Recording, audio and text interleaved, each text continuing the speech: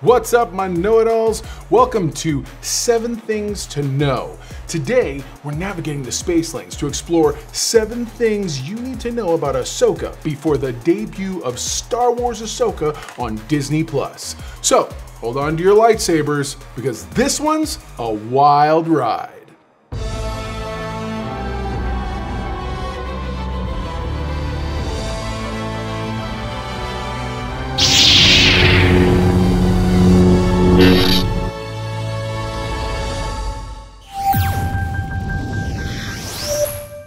First debuting as Anakin Skywalker's Padawan in the Clone Wars, Ahsoka is a uh, Togruta from Shili. With a rebellious spirit, she's seen more battles than a Tatooine Jawa has seen scrap metal. Ahsoka's relationship with Anakin paved the way for deep Star Wars lore, and her complex character development has made her a beloved icon in the franchise.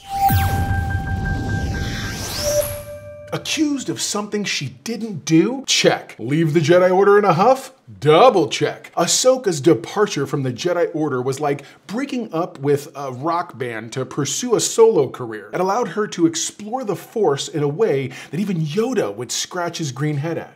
Her journey from Jedi to Wanderer adds layers of complexity to her character.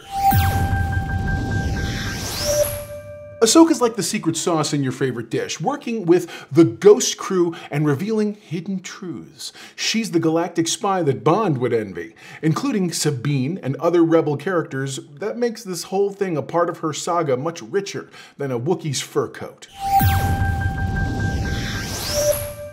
Her white lightsabers aren't just for show. Later, after leaving the Jedi Order, Ahsoka took red lightsabers from an Inquisitor and purified them. What does that mean? So they symbolize her unique path, standing apart from the Sith and Jedi. It's like sporting custom kicks in a galaxy full of standard issue boots. Am I right?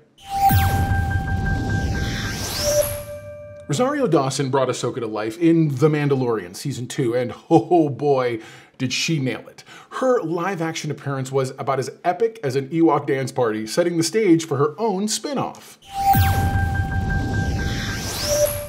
The ending of the Clone Wars left us gasping like fish out of water on Naboo. Ahsoka's survival, her connection to Anakin's fall, and that mysterious owl thing, you know what I'm talking about? It's storytelling gold that will hopefully be expanded upon in her series. Helmed by Dave Filoni, Ahsoka's creator, and others, the new series will have our hero rising against Grand Admiral Thrawn, a name that many of you might remember. He's the heir apparent to the Empire.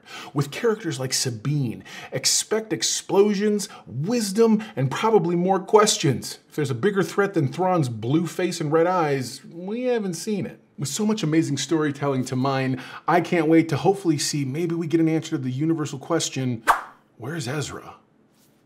So there you go. Now you know, and if knowing is half the battle, you're halfway to being a know-it-all yourself. Till next time, hashtag know-it-all nation, keep asking questions and may your thirst for knowledge be as unending as the Star Wars universe itself. You got questions? Ask away in the comments below.